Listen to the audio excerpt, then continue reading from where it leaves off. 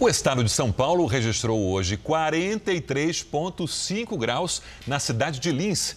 Segundo o Instituto Nacional de Meteorologia, foi o dia mais quente de toda a história. A capital mineira também bateu esse recorde. Foram 38,4 graus em Belo Horizonte. Nesse calorão, é preciso cuidar da saúde, principalmente quem já se trata de alguma doença. O inchaço nos pés é uma das queixas da Deusira nos dias quentes. Ela é hipertensa e já sofreu um AVC. Aí eu fico com medo de acontecer de novo, porque a gente aqui é um pouco complicado a situação para chegar aqui. Para controlar a pressão arterial, a recomendação médica é não alterar os medicamentos por conta própria e, com as altas temperaturas, se manter sempre hidratado, algo que a Deusira não faz. A senhora bebe muita água no calorão? Não, eu bebo pouca água. A hidratação é uma recomendação que vale para todos, não só para quem tem pressão alta, e especialmente em momentos de calor intenso, como registrado em quase todo o país desde o início da semana. Em partes da região Sudeste, Centro-Oeste, Norte e Nordeste, os termômetros dispararam.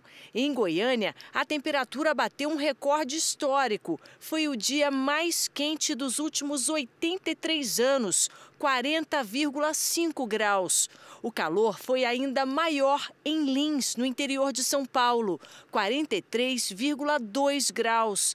Em Água Clara, no Mato Grosso do Sul, máxima de 43,4 graus. Foi o lugar mais quente do Brasil.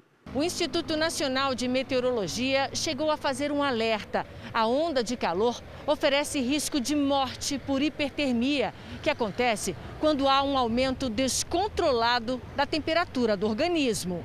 O sangue fica, entre aspas, mais grosso, aumentando o risco de formar coágulos, tanto nas artérias do coração como nas artérias do cérebro, levando a infarto e ao acidente vascular cerebral. E o calorão não deve dar trégua até o fim da semana. Por isso, é necessário redobrar os cuidados com a saúde. Está mais quente, se manter hiperidratado e evitar ambiente de calor extremo. Perto do meio-dia é mais difícil, né? Eu costumo vir mais cedo, às vezes no final da tarde. Só com água na mão, senão a gente não consegue aguentar.